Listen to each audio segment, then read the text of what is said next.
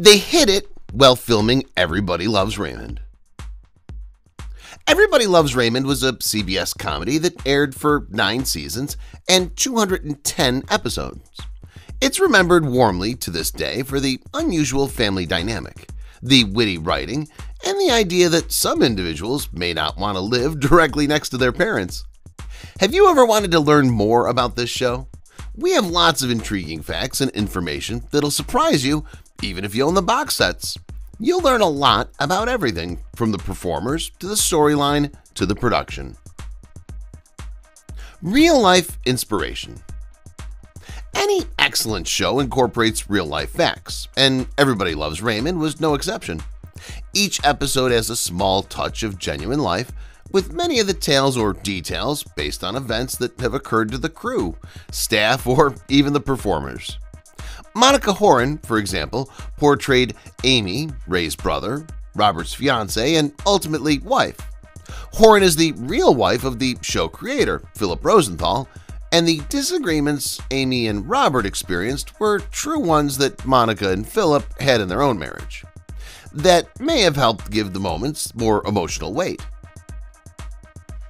Changing some names. While most of the show is based on true events, many details have been kept out or modified. Ray used his first name, his disputes, and many real-life experiences on the program, but when his family joined the cast, certain things had to alter. Ray had twins in the show, much as in real life, and their names were supposed to be Matthew and Gregory. The program concluded that this wasn't the greatest idea, so the false twins were renamed Michael and Jeffrey. Minor tweaks were all that were required. Brad's Big Problem Brad Garrett portrays Raymond's big brother, Robert, a cop who still lives across the street from Raymond and his parents. During his early days on the program, Brad Garrett was honest about his alcoholism, identifying himself as a high-functioning alcoholic. He claims it became a defensive mechanism for things in his life that were out of control. He started to seek assistance towards the conclusion of the first season, realizing how damaging it was to his health and future. This occurred in 1997, and he seemed to be still effective in his struggle against his demons. Lacking faith Everybody Loves Raymond was Ray Romano's major first effort in the entertainment industry, and there were many questions about his ability to keep the program running. Brad Garrett was one of the individuals who lacked faith. He discussed some of the program's hazards, such as Romano sending the show falling and taking the rest of the cast with him. Thankfully, such worries were unfounded. Instead, the program has become one of the most recognized and popular of its type, and has boosted Garrett's career significantly. The Paycheck Issue Ray Romano was obviously the primary actor, but the rest of the family was equally significant. However, there was still a huge compensation disparity that almost ended the program when it was exposed. By the conclusion of the series, Romano was earning over $2 million per episode. Everyone else made about $160,000 per episode. It wasn't a modest salary, but it was less than a tenth of Romano's. Garrett orchestrated a two-week cast strike in 2003 in order to raise additional funds via syndication rights. The others each received an additional $20 million. Is that really the name? The name of this program is now well known across the globe, although it was initially supposed to be something else. What was it that was different? We have no idea. Everybody Loves Raymond was the show's placeholder title for the premiere episode, based on a snide comment made by Romano's actual policeman brother once, but the name stayed. They had planned to modify it to something else, but everyone appeared to appreciate the name, and the unpleasant remarks Romano had anticipated never came. And now one of the most well-known phrases and titles from the 90s. Dear Old Dad Patricia Heaton plays Ray's nagging wife, Deborah, but she's not the only Heaton on the program. Actually, Chuck Heaton was slipped into a sentence by the program. He's a well-known sports writer for the Cleveland Plain Dealer, where he's worked for more than 50 years. Ray's career as a sports writer in the program is likewise highly successful. In one episode, Deb reveals that Ray's main rival is most likely Chuck Heaton. It was a rare Easter egg, but mentioning your actual father while playing a fictional role on TV must have been odd. Not a fan.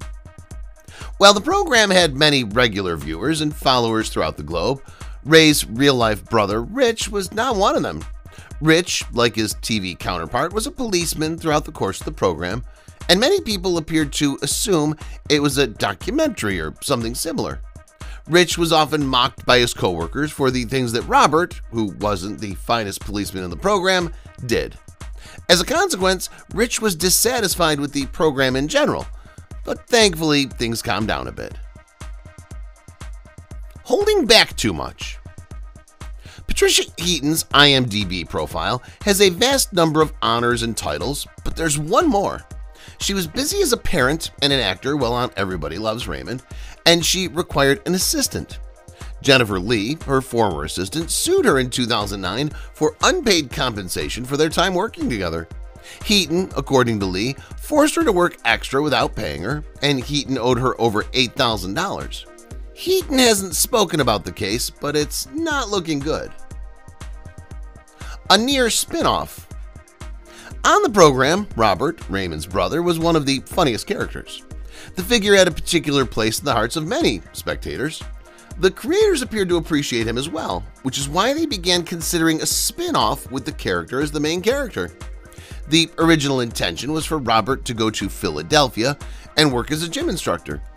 The sitcom was presented to CBS by Phil Rosenthal, but the contract fell through. Who knows whether the program might have succeeded? Spin-offs have a bad track record, but we'll never know. Nobody ever knew. Almost every long-running live-action program encounters a certain issue at some point. The actresses have a baby. Some series can throw in apparent changes like the characters being pregnant at the same time, but that wasn't an option for Everybody Loves Raymond. While Patricia Heaton desired a family, Deborah, a mother of three, most likely would not. As a result, when Heaton became pregnant again, they had to conceal it with enormous props, baggy costumes, cunning angles, and other techniques. Nobody noticed her tummy had grown, yet those who were searching for it could tell. Second best. Maggie Wheeler portrays Linda, a friend of the Barones, although it wasn't her dream part. When she came for audition, it was for the role of Deborah, the leading woman. She was almost cast, but Patricia Heaton beat her by an inch. What was the reason she didn't receive it? Wheeler was, and we quote, too ethnic for the part. They loved Wheeler, so they gave her a lesser role that still allowed her to shine a little. Despite her little part, she made an impression just like a real family. While the show's disputes were fabricated, there were plenty of genuine ones on set as well. Patricia Heaton and Peter Boyle, in particular, were on opposing political sides and were vociferous about their convictions. This resulted in countless intense discussions on site, which typically made the rest of the cast very uncomfortable. Despite everything, love triumphed, and their disagreement didn't prevent them from being friends and producing a great show. After learning of Boyle's passing, the whole cast, including Heaton, showed their love and admiration for him. Still making us laugh. Brad Garrett wasn't going to give up his comedy career after the show that catapulted him to popularity even higher. He won an Emmy for his work on the TV program Gleason, and he made us all laugh even more on Till Death. He's also gained a lot of work as the voice of notable projects including Ratatouille, Tangled, and Finding Nemo. His marriage to his first wife dissolved, but he swiftly remarried Isabelle Quella, whom he had met in an art gallery in Boston. Hiding the issue. Brad Garrett proposed to his girlfriend, Jill Diven, in 1998 on the set of Everybody Loves Raymond.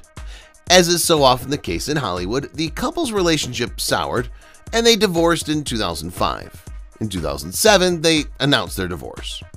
Garrett, on the other hand, didn't tell anybody on the program about his problems at home until this became public information, essentially putting on a funny face.